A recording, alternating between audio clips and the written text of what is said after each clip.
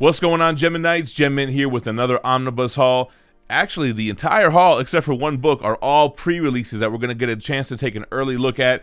Before we get started, uh, got to give a big shout out to Marvel Comics for sending us some advanced copies. Also, make sure you're subscribed to the channel and hit that notification bell so you don't miss any of these hauls, plus the statue unboxings or the new comic book day reviews. With that being said, we're going to go over all the prices, we're going to go over the construction, the build, and what they collect. But remember, you can be buying these titles up to 50% off cover price by visiting our sponsor, cheapgraphicnovels.com. They also have great packaging, super fast shipping with excellent customer service. They also have a bargain bin where you can get titles up to 90% off. If you mention this channel in the memo at checkout for your first order, your second order will have free shipping in the United States. So let's jump into this. We have a trade paperback with a release date of February 17th. It's Strange Academy, issue number one. Everybody's talking about this run. Skottie Young, Humberto Ramos.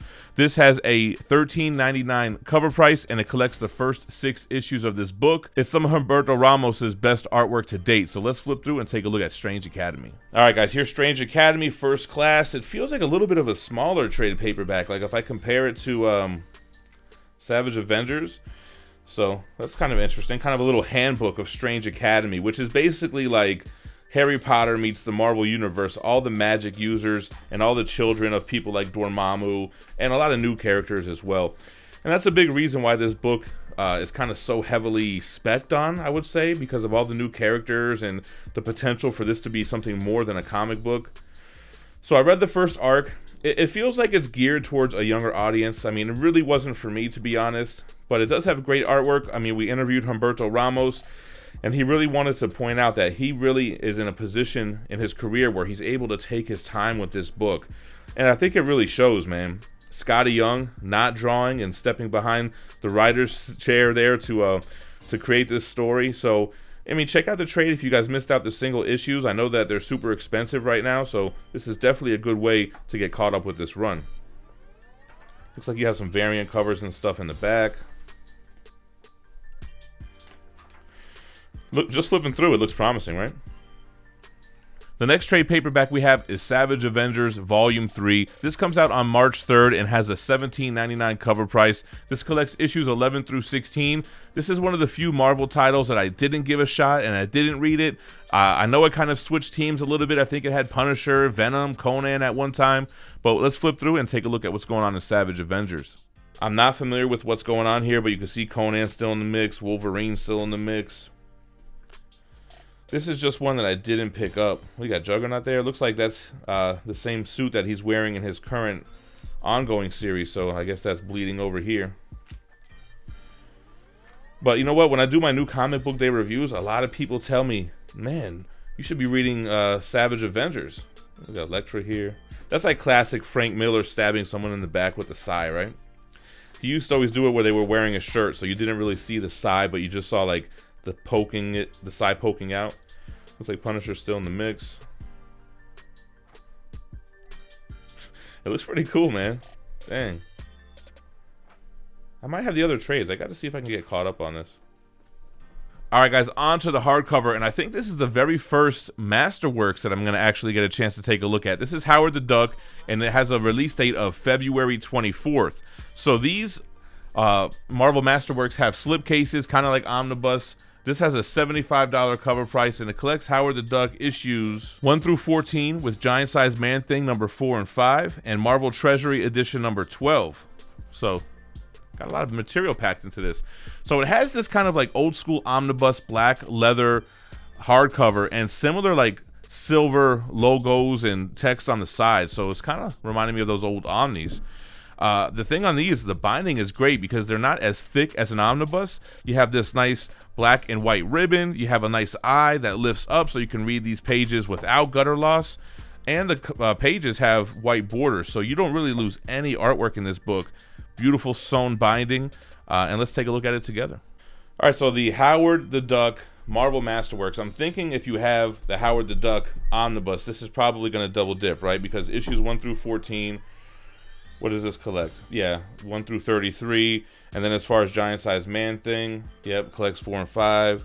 And then the Marvel Treasury Edition. Yeah, so basically, if you have this omnibus, you don't really need this. But chances are you don't have this omnibus because I'm pretty sure this is a long out of print Omni. Plus, I know that there are specifically Marvel Masterworks collectors out there.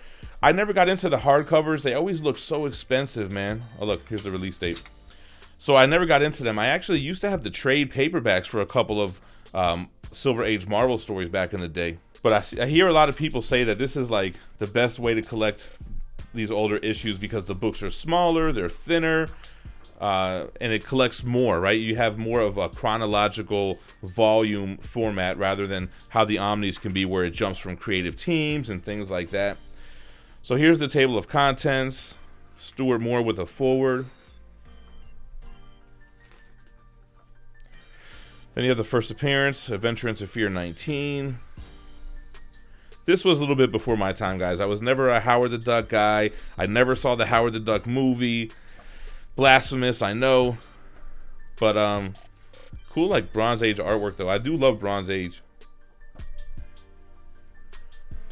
So definitely appreciate Marvel Comics sending us an advanced copy of this to flip through and to show you guys. And they also have variant covers. I think there's three different covers for this book. This is just the, the regular gray one. Then they have like a gold border one. A couple different uh, variants. So in the back, it looks like you have original art, some original covers and interior pages. Looks like some house ads. So you do get some bonus material in the back of these as well.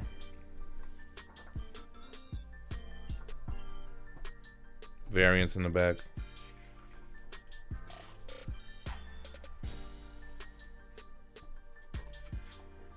All right, so the only omnibus that's already been released out of this haul is this new Teen Titans Omnibus Volume 5. I can't believe they are cranking out so much of this material. Uh, Marv Wolfman, Eduardo Barreto, and Romeo Tanghal. So this collects issues 32 through 49, plus annuals 3 and 4, Tales of the Teen Titans 91, Secret Origins 13, Secret Origins Annual 3, and Infinity Inc. 45. This has a $100 cover price. We'll take off the dust jacket here. And this has what you would expect out of a DC Omnibus, this black, kind of matte, almost construction paper type hardcover. Uh, flipping through here, it's a little bit tight. Uh, semi gutter loss if you're looking at the middle here because um, the eye doesn't really lift up that much off the hardcover. I mean, it's not the worst that I've ever seen, but it could be a little bit better. Maybe with some wear and tear, it'll uh, loosen up a little bit. Definitely want to stretch that spine.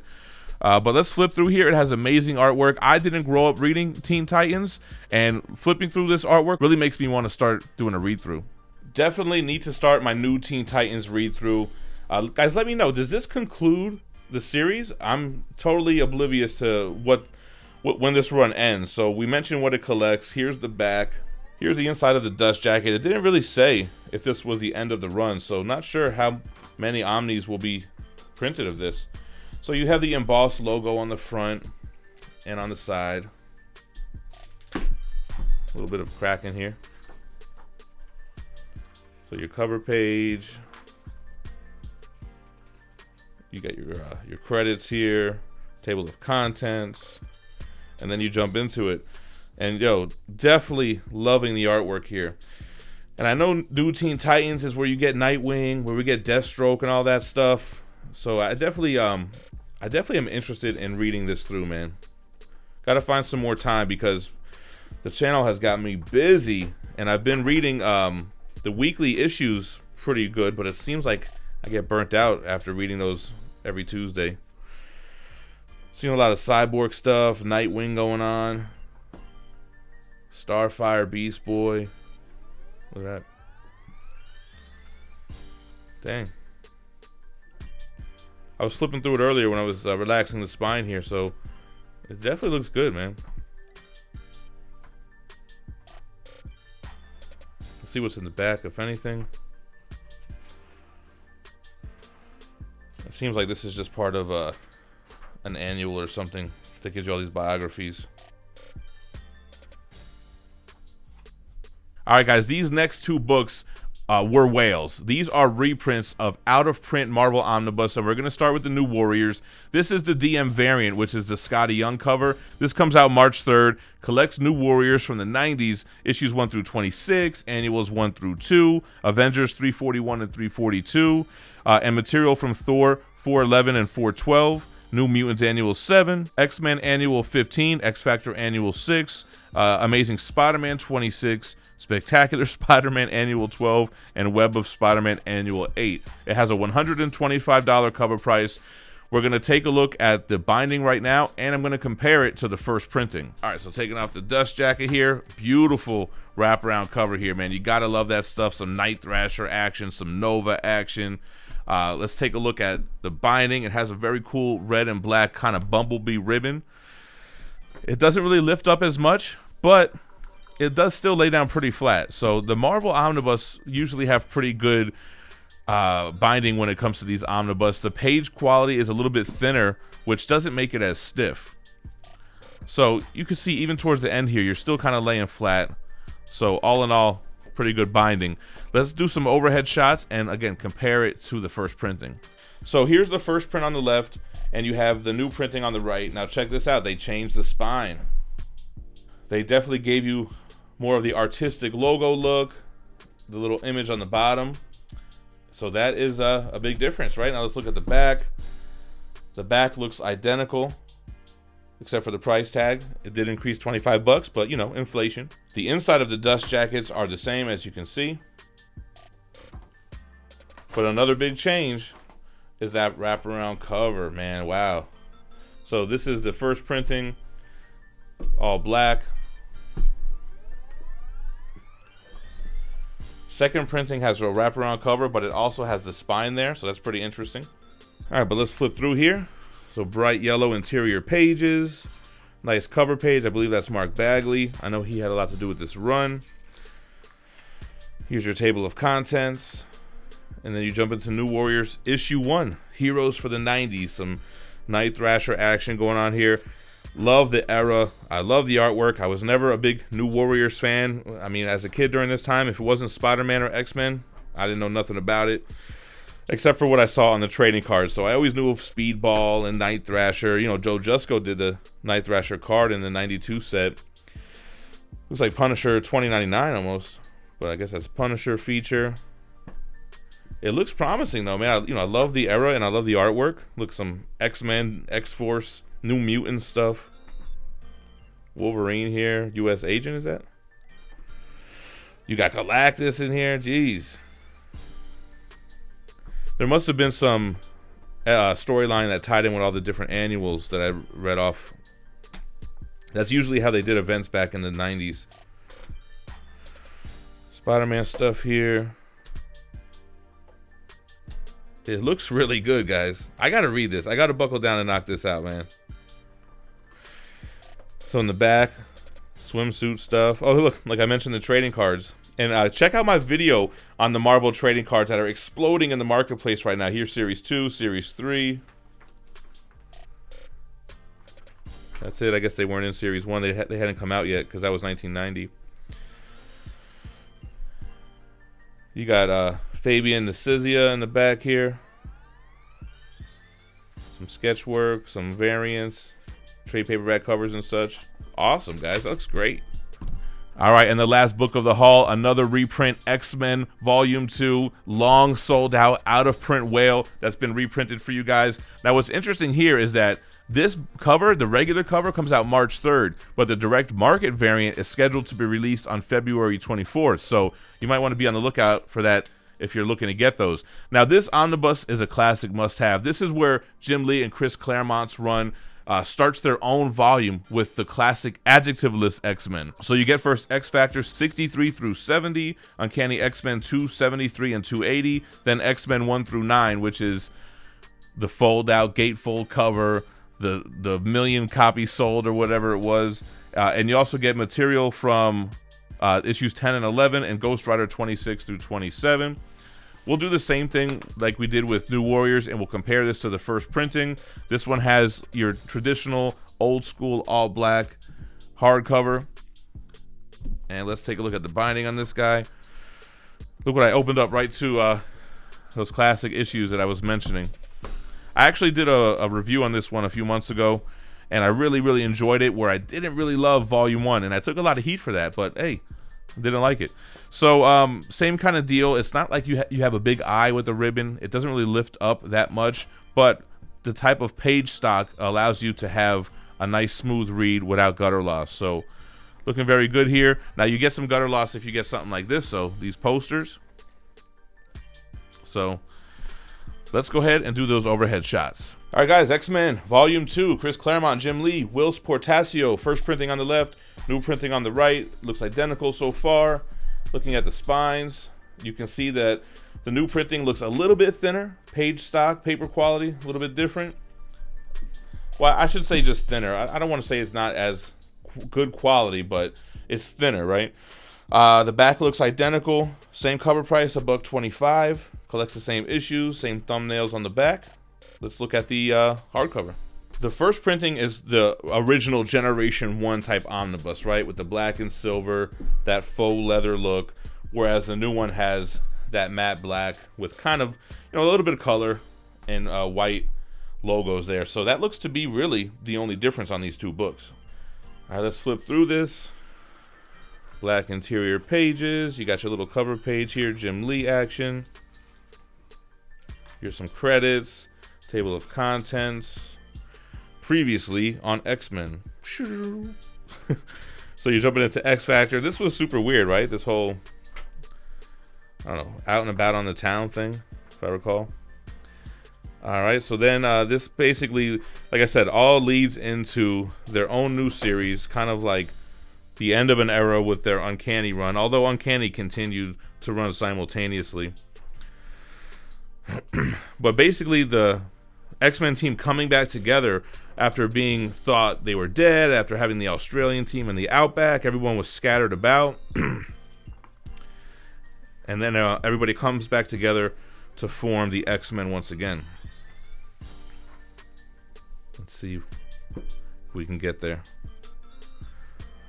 But obviously, artwork is amazing. 90s Jim Lee is like unmatched and I think he was really in his. I think he was he really found his stride here when he started doing these runs. Yeah. So here's the uh,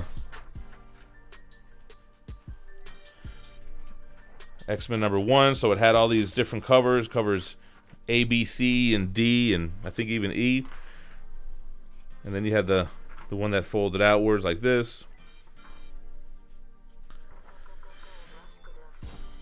And then it had the pinups in the back, a blast from the past, the Wish You Were Here, A Taste of Things to Come, which teased Omega Red.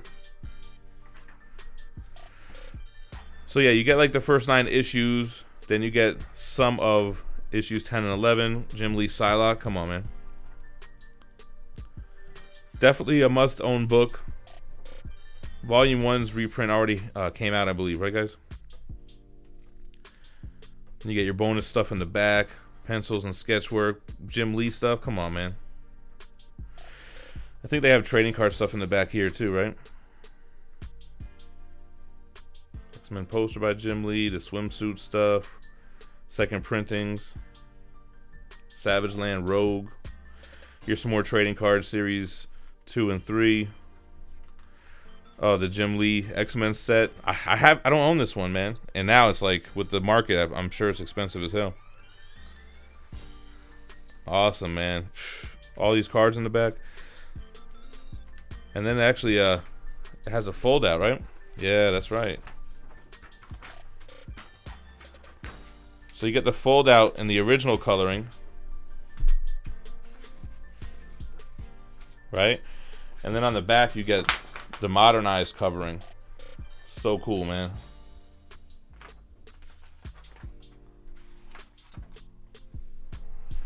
You got another poster on the back. So this was what was on the back of that um, poster. And look, the same thing. They have modernized coloring on one side and the original coloring on the other side. Very cool of them to include this. And this was also in the first printing.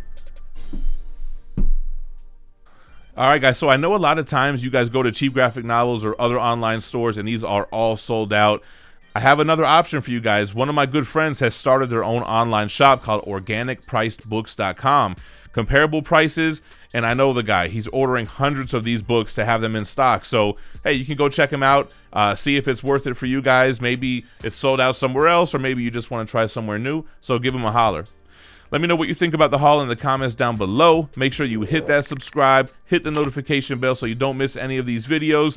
We're going to announce a 125,000 subscriber giveaway real soon. I just got to really think of what I want to do. It's got to be pretty big, right? 125 is a big milestone. If you guys like to support the channel in other ways, we have a membership program where you can click the join button right next to the subscribe button. There's three different tiers which each grant you a gem next to your name anytime you comment on a video or a live stream. You get early access to all videos and you also get placed placed into monthly Gem Crate drawings. I've also been doing stuff like members only live chats. Pick up some Gem Mint merch at our Teespring account. The link's in the description. We have t shirts, long sleeves, hoodies, face masks, all different types of designs. A lot of homage logos like Bone Thugs, Death Row, TMNT, Cash Money, stuff like that.